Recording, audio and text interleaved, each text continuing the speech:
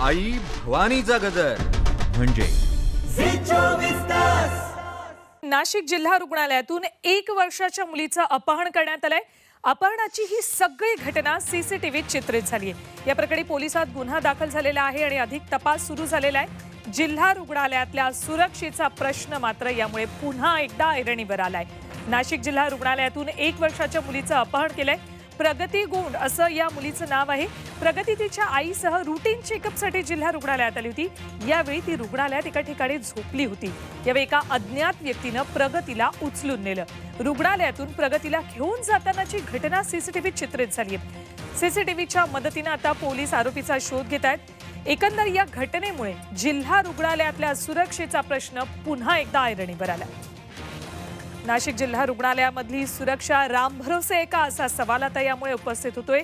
एक वर्षाच्या प्रगती गुणचं अपहरण करण्यात आलंय. जिल्हा रुग्णालयात ती एका ठिकाणी झोपली होती तिच्या आईसोबत ती आली होती. या वेळेला तिचं अपहरण झालंय. सीसीटीव्ही मध्ये ही सगळी दृश्य चित्रित झाली आहेत मराठ्यांची तळपती तलवार म्हणजे भिवंडीतल्या पोलीस मुख्यालयाजवळ उड्डाण पुलाखालच्या पोलीस चौकीत एकानं अतिक्रमण करून बिराट ठाकले. रोज दारू आणि गांजा सेवन सुरू असल्याचं स्थानिक सांगतायत. हाकीच्या अंतरावर पोलीस मुख्यालय आहे पण कारवाई होत नसल्यानं आश्चर्य व्यक्त होते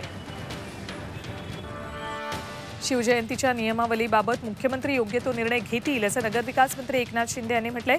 औरंगाबादमध्ये पत्रकार परिषदेत त्यांनी याबाबत प्रश्न विचारलेला. यावर अजूनही कोरोना आहे त्यामुळे मुख्यमंत्रीच याबाबत योग्य तो निर्णय घेतील असं ते म्हणाले.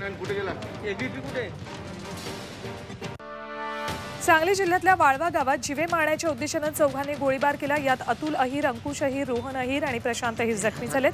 पूर्व वैमनस्यातून हल्ला झाल्याचं नातेवाईक म्हणतात डोळ्यात चटणी टाकून तलवार आणि कोयत्यानं त्यांच्यावर वार केले.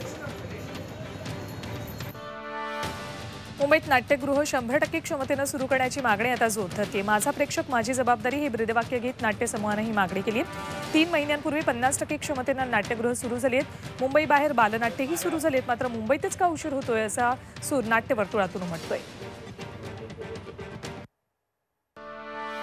भारतानं आठ फेब्रुवारीपर्यंत तीनशे अडतीस कोटी रुपयांच्या कोरोना लसींची विविध देशांना निर्यात केली आहे. सरकारनं ही माहिती राज्यसभेत दिली आहे. निर्यात केलेल्या लसींमध्ये मित्र देशांना मदत स्वरूपात दिलेल्या लसींचाही समावेश आहे. देशात लसींचा पुरेसा साठा ठेवून मगच बाकीच्या लसींची जानेवारीपासून निर्यात सुरू आहे.